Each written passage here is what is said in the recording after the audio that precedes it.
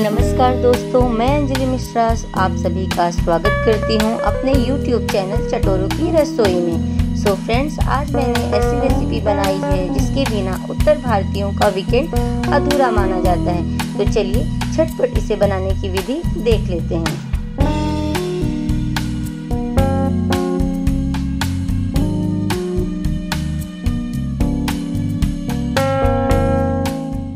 पकौड़ा बनाने के लिए हमें चाहिए 100 ग्राम बेसन, यानी कि ग्राम फ्लोर, और एक चौथाई मीठा सोडा, यानी कि बेकिंग पाउडर। और साथ ही साथ हम डालेंगे आधा चम्मच जीरा।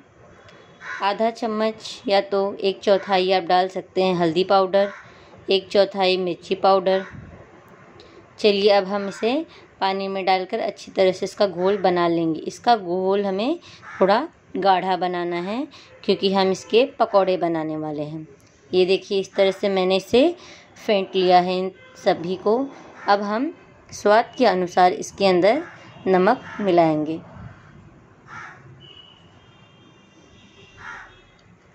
अब नमक मिलाने के बाद इसे अच्छी तरह से फेंट लीजिए। और अगर आपको लगता है कि ये ज़्यादा सूखा है तो थोड़ा सा पानी मिलाइए। ज़्यादा मत मिलाइएगा कि कहीं आपका जो पकौड़ा है वो एकदम पतला हो जाएगा और बनने में काफ़ी तकलीफ़ हो जाएगी। देखिए इस तरह से। चलिए, अब हमारा ये बैटर तैयार हो चुका है तो अब हम कड़ी का बैटर तैयार कर लेते हैं। कड़ी का बैटर तैयार करने के लिए, यानी कि उसका घोल तैयार करने के लिए हमें चाहिए ठीक उसी प्रकार सौ ग्राम बेसन। अब हम कम से कम इसमें तीन से चार कप पानी ऐड करेंगे, ताकि ये इसका जो घोल है वो पतला रहे।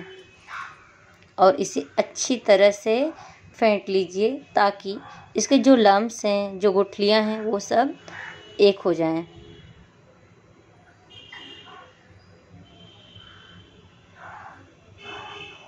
तो देख सकते हैं आप कि कड़ी का बैटर किस तरह से मैंने तैयार कर लिया है। अब एक पैन को गर्म करना है, यानी कि कढ़ाई को गर्म करना है। देख सकते हैं कि हमारा जो तेल है, वो अच्छी तरह से गर्म हो चुका है। तो अब हम पकोड़े निकाल लेंगे।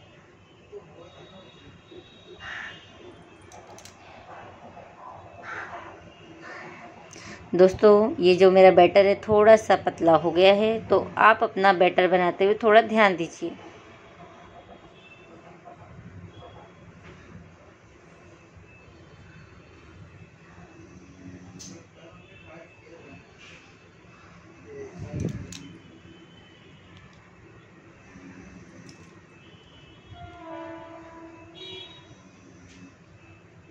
देख रहे हैं, इस तरह से थोड़ा थोड़ा उंगली की अपने सहायता से या आप चाहें तो चम्मच की सहायता से आप पकोड़े जो हैं निकाल सकते हैं।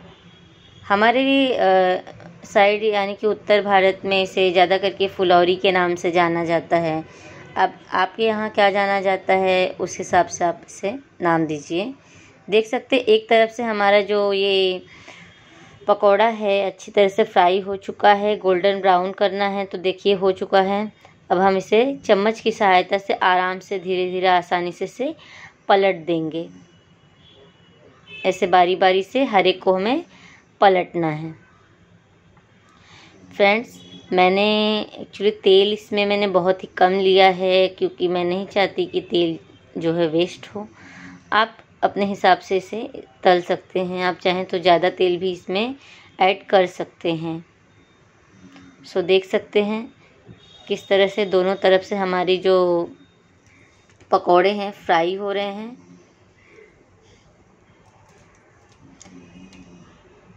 अब हमारे पकोड़े जो हैं लगभग फ्राई हो चुके हैं तो इसे हम अच्छी तरह से छान लेंगे।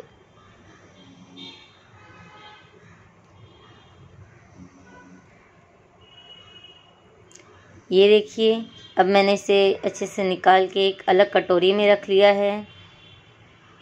इसी तरह से हमें बाकी बैटर्स का भी पकौड़ा तल कर निकाल लेना है।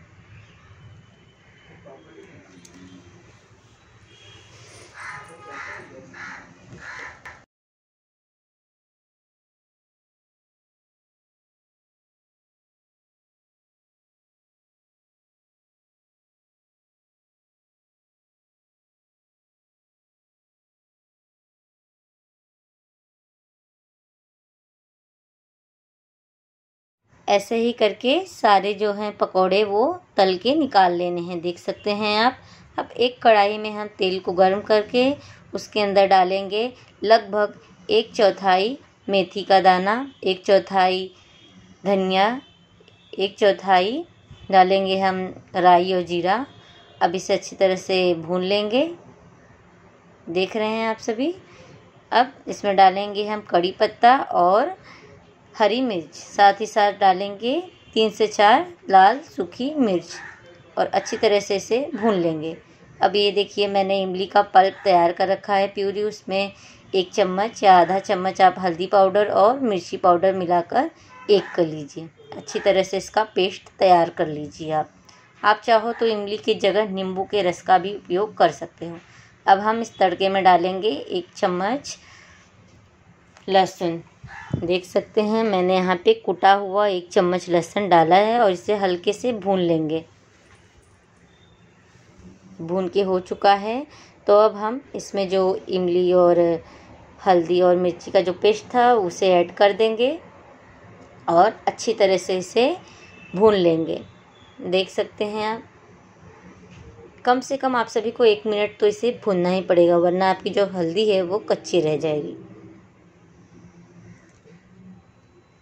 देख सकते हैं। ये हमारा जो मसाला है भून चुका है। अब चलिए इस घोल को जो कि हमने पहले ही बना लिया था इसे हम आ, आराम से धीरे से इसमें ऐड कर देंगे।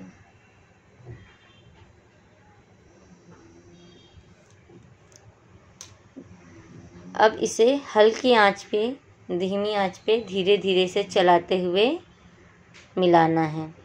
ये ध्यान रखना है टाइम टाइम पे इसे चलाते रहिए, वरना इसके अंदर गुठलियाँ आ जाएँगी। अब हम स्वाद के अनुसार नमक ऐड कर देंगे।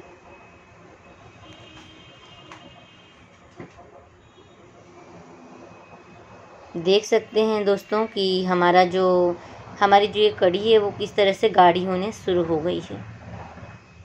अब इसे ढककर पकाएँगे कम से कम पाँच मिनट, जब तक इसका उबाल ना आ जाए।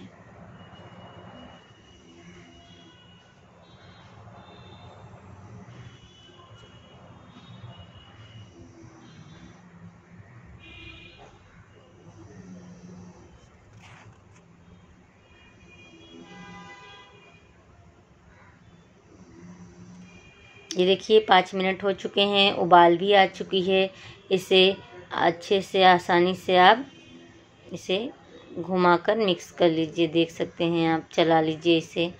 और अब दो मिनट उसे ऐसे ढक कर रखने के बाद आप इसके अंदर धनिया ऐड कर सकते हैं अपने टेस्ट के अकॉर्डिंग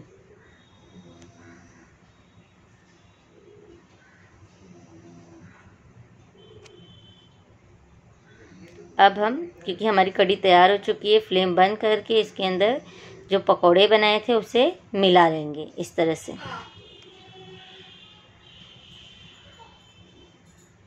ये देखिए हमारी कड़ी पकोड़ा राइस रेसिपी इस तरह से तैयार हो चुकी है और मैंने इसे इस तरह से प्रेजेंट किया है। आप भी बनाइए वीकेंड पे और खाइए, खिलाइए।